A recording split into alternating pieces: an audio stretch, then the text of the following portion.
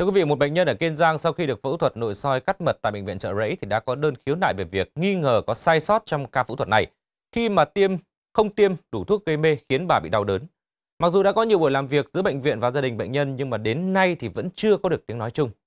Và để rộng đường dư luận, chúng tôi xin gửi đến những ghi nhận khách quan từ phía bệnh nhân và bệnh viện trợ rẫy về sự việc nói trên. Theo đơn trình bày của bà Thúy Phượng sinh năm 1966, trong ca phẫu thuật nội soi cắt mật ngày 22 tháng 11 năm 2019, có xảy ra sự việc đổ vỡ một số hộp thuốc.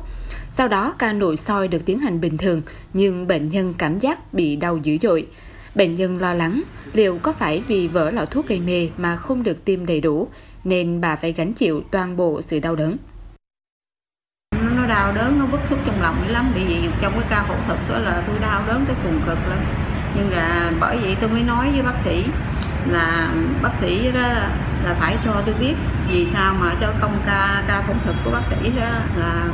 phải lý giải với lại phải có cụ thể cho tôi biết là vì sao mà tôi lại đau như vậy. Thì tôi mới chịu Đại diện Bệnh viện Chợ Rẫy, bác sĩ Phạm Thanh Việt, trưởng phòng kế hoạch tổng hợp xác nhận sự việc, đồng thời cho biết có biên bản ghi nhận việc đổ vỡ một lọ thuốc trong ca phẫu thuật thêm. Tuy nhiên, theo bác sĩ Việt, đây là thuốc cầm máu, trị giá chỉ 24.000 đồng và không xem là sự cố hay sai sót của nhân viên y tế, cũng như không ảnh hưởng đến ca nội soi.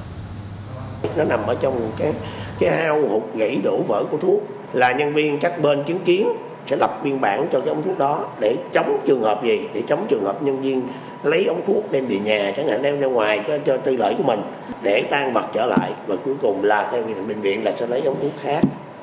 để sử dụng cho bệnh nhân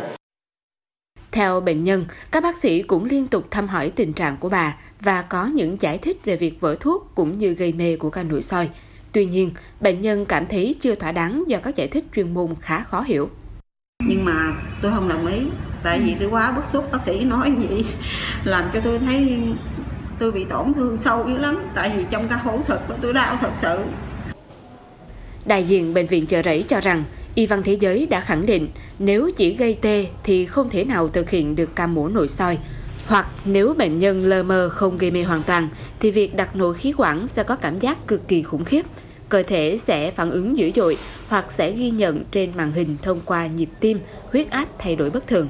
Do đó về chuyên môn, bệnh viện khẳng định ekip gây mê đã thực hiện tốt. Còn trường hợp bệnh nhân cảm giác đau đớn và nghe thấy tiếng trò chuyện có thể rơi vào một số trường hợp.